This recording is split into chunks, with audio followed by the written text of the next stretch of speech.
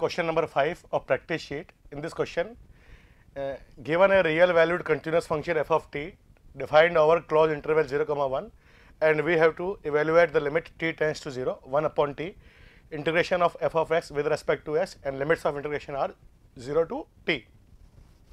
सो देखिए अगर मैं यहाँ पे टी को ज़ीरो पुट करूँगा तो अपर लिमिट भी ज़ीरो हो जाएगी तो लोअर लिमिट और अपर लिमिट सेम है तो इसका मतलब क्या होगा? इंटीग्रेशन की वैल्यू कितनी आएगी? ज़ीरो तो इस इंटीग्रेशन की वैल्यू ज़ीरो आ रही है और नीचे डिवाइड में जो टी है, उसकी वैल्यू भी ज़ीरो आ रही है तो यहाँ बन रही है हमें ज़ीरो अपॉन ज़ीरो फॉर्म तो यहाँ पे हमें एल हॉस्पिटल रूल लगाना पड़ेगा। तो हमें न्यूमिनेटर का डेरिवेटिव करना पड़ेगा और डिनोमीटर का भी डेरिवेटिव करना पड़ेगा। So let us see the solution तो जैसा कि हमने डिस्कस किया ज़ीरो अपॉन ज़ीरो फॉर्म आ रही है। ना अब हमें करना है न्यूमिनेटर का डेरिवेटिव मीन्स हमें इस इंटीग्रेशन का करना है डेरिवेटिव तो एक लेबनीज रूल होता है। क्या होता है?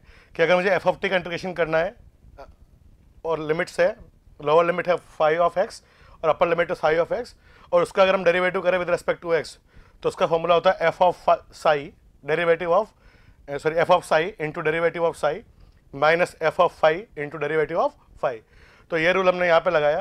तो ये हुआ हमारा न्यूमिनेटर का डेरिवेटिव और नीचे डिनोमीटर जो टी लिखा हुआ उसका डेरिवेटिव हुआ वन तो this is the L hospital rule और you can say L'Hopital rule now तो आप नोटिस करिए, अगर मैं टी को ज़ीरो पुट करूँगा डेरिवेटिव करने के बाद पूरे लिमिट लगाएँगे अगर हम तो यहाँ मिलेगा हमें एफ़ ऑफ़ ज़ीरो तो नोटिस करिए जो ऑप्शन नंबर डी में दिया हुआ है हमारा एफ़ ऑफ़ ज़ीरो तो हम बोल सकते हैं इसकी जो लिमिट है उसका आंसर आएगा F of zero If you really like the video, please hit the like button, share the video, subscribe to our YouTube channel and press the bell icon for the latest updates. Thank you.